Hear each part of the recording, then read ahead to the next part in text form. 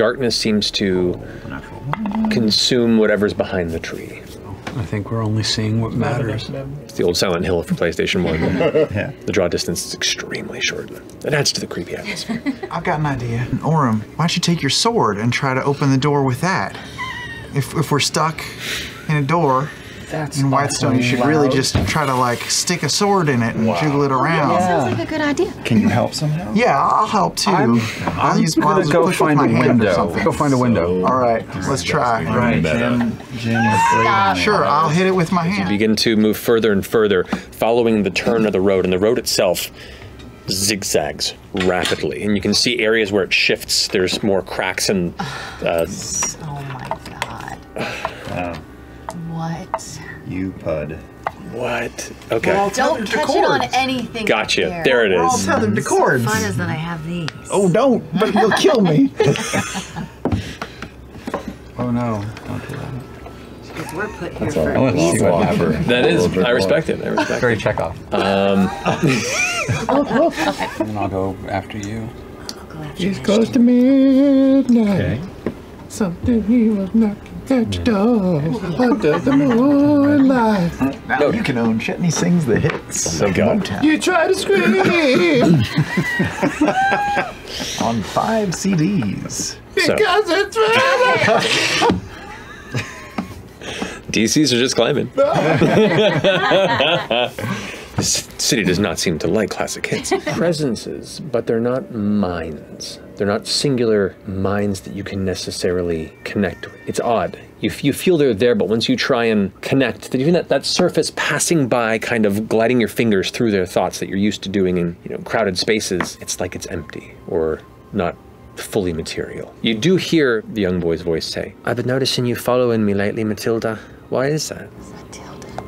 You hear silence, and then hear him. It's okay, just making the other boys tease me on it, you know. Matilda, do you want to want to play a game with me? Kind of a small pocket alleyway where like multiple of these thin spaces all collide into this kind of opening, maybe like 15 by 20 or so feet. And you see this young boy, kind of a shaggy mop of red hair that barely hides the top of his forehead. His eyes peek through with a little smile. Not pauper clothing, but nothing noble-like.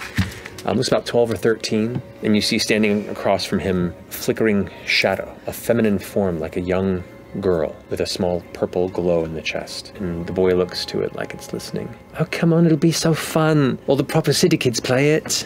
So a farm girl like you would really like it, I think. Mhm. You hear a voice in your head, very young. I don't know if I should say yes. I like him though. The boy goes, It's called Secret Treasures. And he kind of reaches into his pocket and pulls something out in his hand, looking towards the shadow.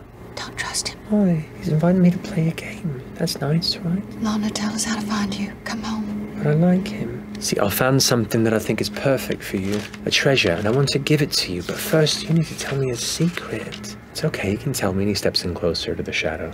Laudna, don't trust him. The shadow form, like black nether material that just kind of, as it flickers through, like a like an occasionally fast and occasionally slow whirlwind of darkness, where it meets its limit, is the shape of a little girl, pulsing purple heart in the center of its chest. And in that moment, it seems to almost look to you. Then it looks back at the boy, and then it takes a step back. What's wrong? It's just a game. Come on, don't you want to? Don't you want your treasure? Looks back at you. Steps back again from the boy. Well, come on, take it! And he goes and opens his hand and throws a fistful of dirt in her direction. And she ducks out of the way and then dissipates into the wall behind her. And the boy goes, Little shit! The kid turns around angrily, fists balled up, and then walks back into the alley across from where you are all standing. And as he walks away, all the color just fades off his body, and you see this kind of ghostly material, ethereal form just vanish back into the city, unseen. What? I hate all of this. Can we? Laudna? Matilda? Are you there? Yeah? I want to find you and help. Can you show me the path? I'm just playing by myself. Where are you? I'm playing in the barn. Is that outside of town? Usually, but not today. Can you see the tree, honey? No, the tree scares me. What does the barn look like? Well, it's kind of red and it's tall. It's got big doors on it. I'm up at the top of it. There's a ladder you take, and I made some dolls. Who are the dolls, honey? I made a nice woman. I made a bird that can take me away from here. We can be that bird for you. We can take you away. Where would we go? Home, somewhere safe. Is there a mean woman around here? Yeah, Do you know where she is? she won't let me leave. Have you seen her lately? She's, she's sort of out that way. She points off the opposite side of the open hayloft door. Just beyond me, you can see there's the edge of the shape of the massive tree. What's in the drawings? They're very, very rough child sketches, shapes. A lot of them depict what you can make out to be like a family of three like a mom, a dad, and a little girl. One of them looks like you can't tell if it's like a dragon or a, or a snake with wings, but it looks like something traveling over the sun. You see one that shows her, like a little girl, like her, with just a, a very sad expression on her face. And you see one that's just black, dark scribbles on the page. Just this kind of voided hole. Matilda, can you tell me about this drawing? It's interesting. What were you thinking? You hear in your mind, that's what's beyond the city. That's what everything is now. Have you tried to leave? The tree won't let me. You're gonna come with us, Matilda. We're gonna go. Would you like that? The tree won't let me. The majority of the barn is currently now wrapped in ivy that's growing denser and darker. The leaves aren't green, they are dark gray to black. Grab her, but let's go. And I jump out. You go to jump, and now the ivy is hung down and enclosed the exit from this barn. Watch as more tendrils begin to wrap. Do you have a secret way out of here?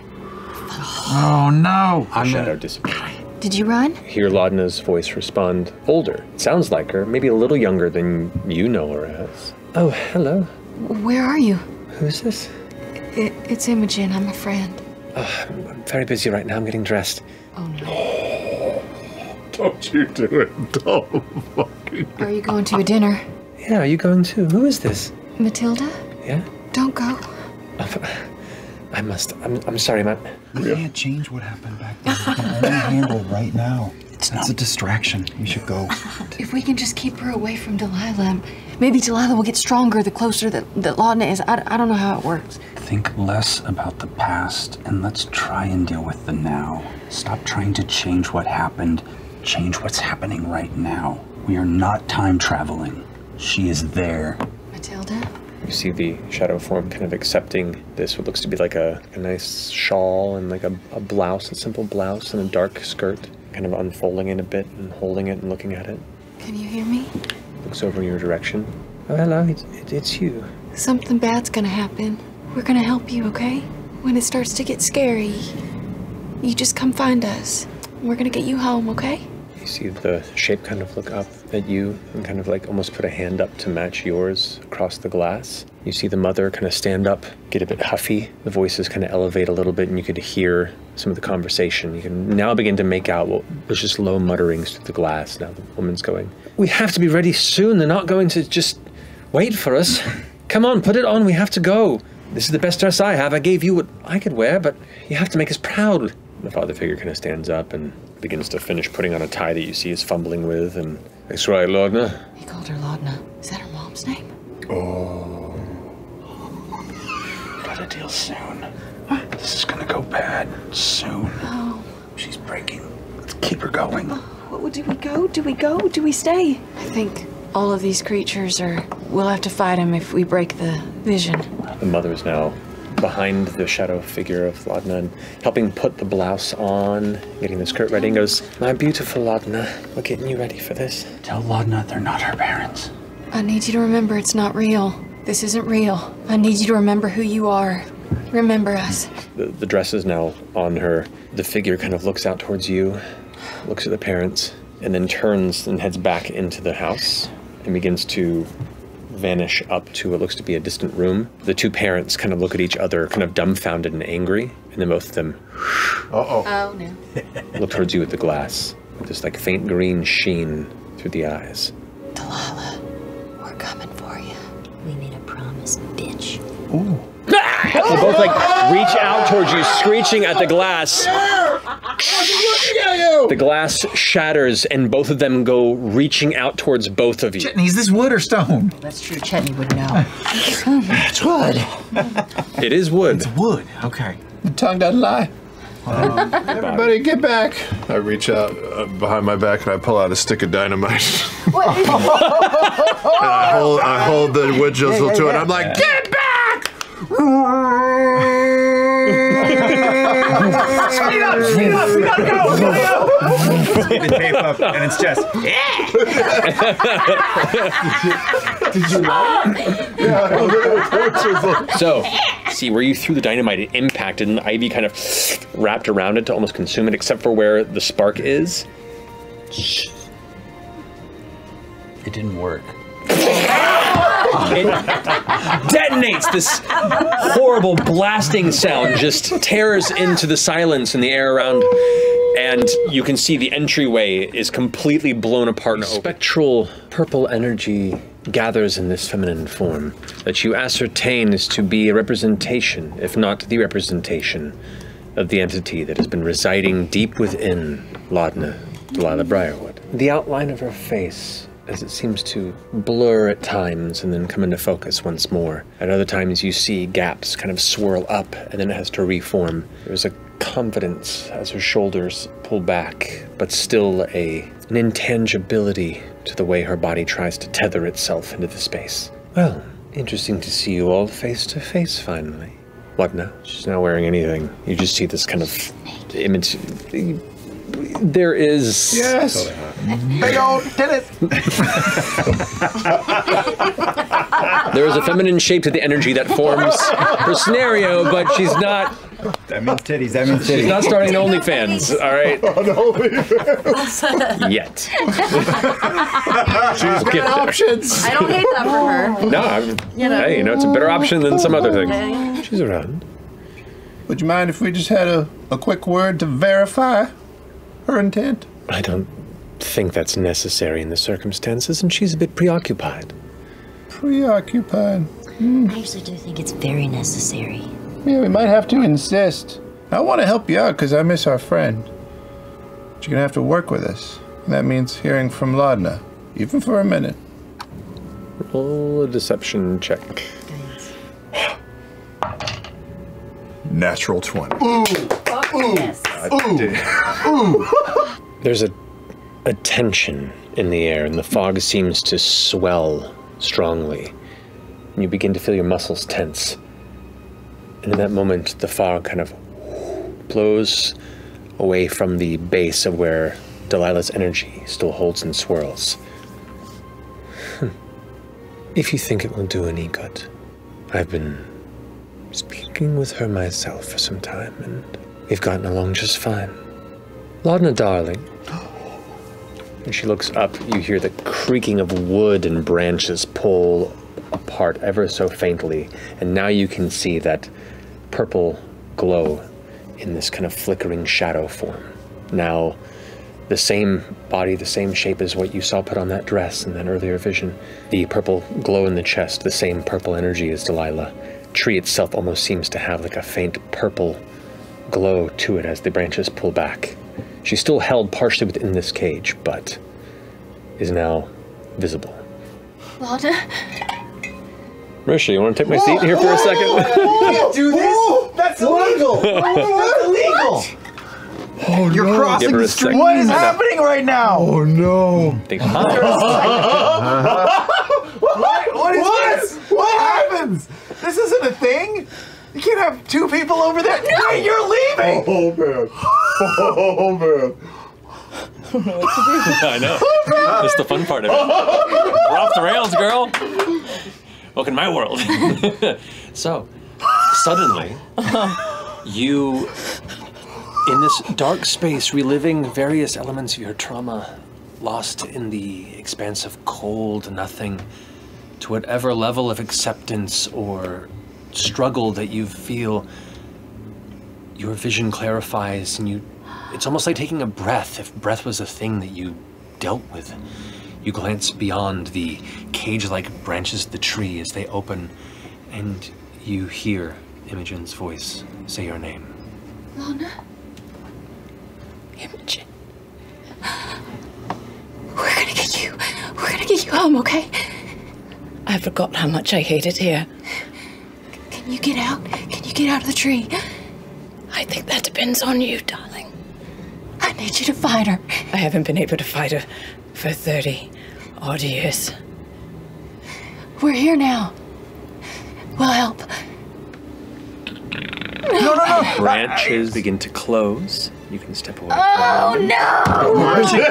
You were the DM. You could have said Delilah turned into a fart. Too late! Too late! As the branches close once more in the tree, Delilah raises a finger. That's unsporting. Delilah Briarwood. We're gonna sunder you.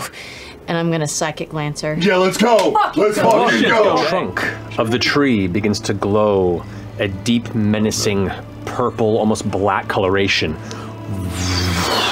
And as it does, you watch as these kind of light, sparkling little ribbons and tethers kind of ripple off of this off of the sun tree and wrap around Delilah and form this kind of almost ephemeral shield around her. Do we hear? All right, all right, all right. Oh no! the nigga sun tree. If you can speak to plants, I'm sure be a great conversation, I guarantee it.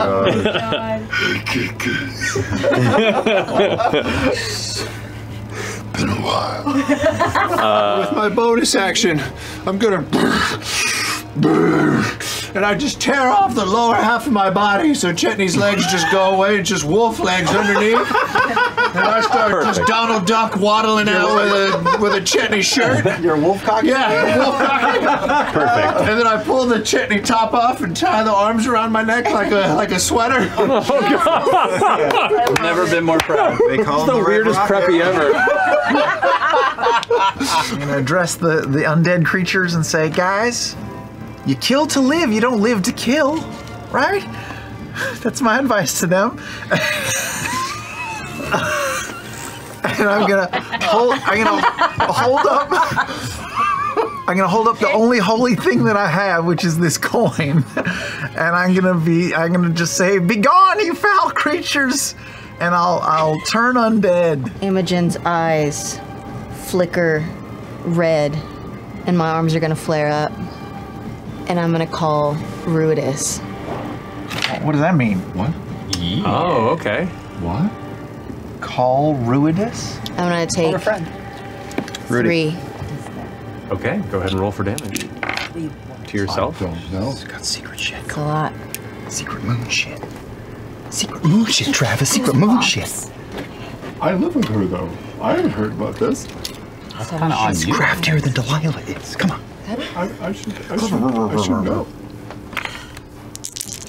She didn't tell me anything. Okay. Child. For you, Orym, you take 18 points of necrotic damage. Got it, got it. She's gonna go and attempt to tear you out of the branch. Damn it. Roll a strength saving throw to try and hold on to the branch you are on. This is not gonna succeed. Be positive. Be positive.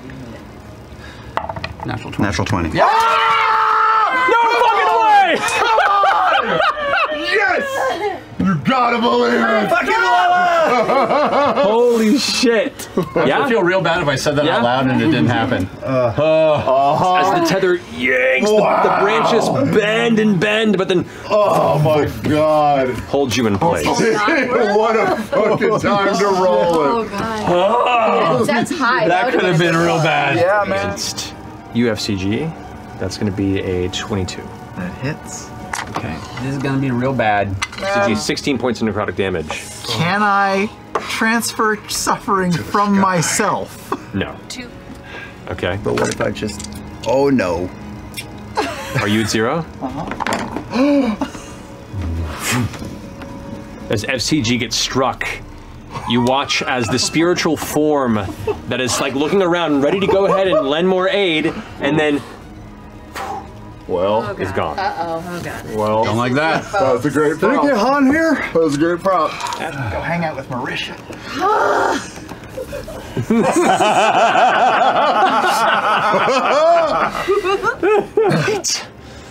Down! Beep, beep, beep, beep.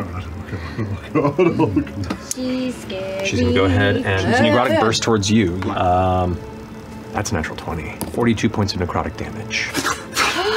Oh, you watch man. her angrily release the streak Oh, man. shadow tendril, and in one instant, Orym's spiritual form just Oh man!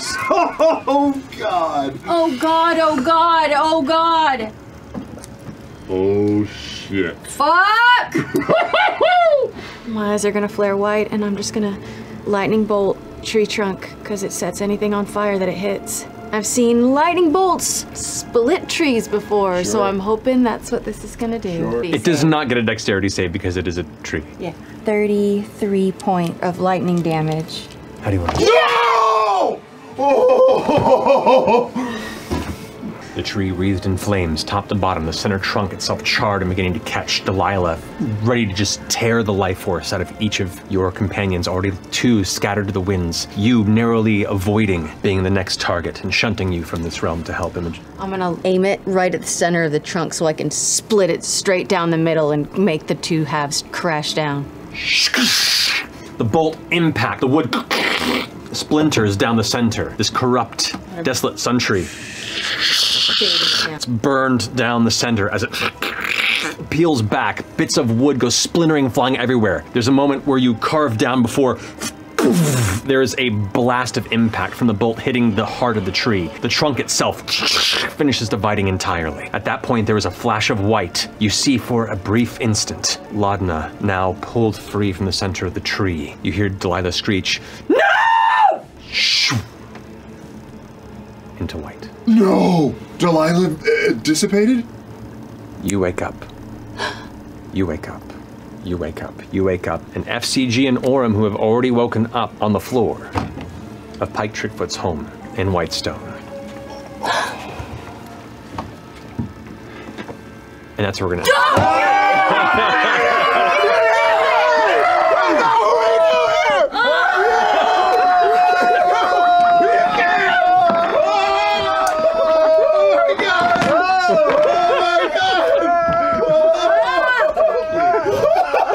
There's so much room to go fetal